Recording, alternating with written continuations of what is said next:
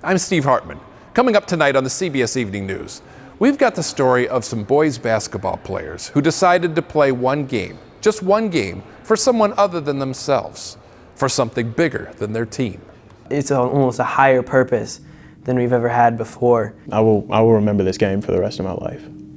So, how'd it go? You will not believe.